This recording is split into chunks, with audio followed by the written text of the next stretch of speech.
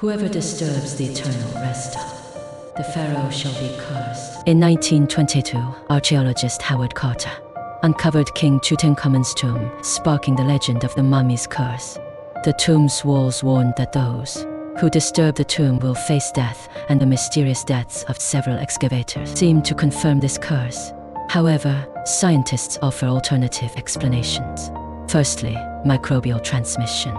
The tomb may have contained toxic bacteria, which could have been transmitted to the excavators during the day. Secondly, psychological factors. The belief in the curse may have led people to connect unrelated events to the supernatural.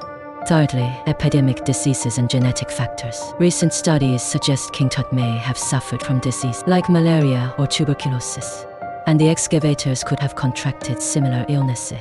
Though the mummy's curse can be explained scientifically, its mystery continues to captivate many.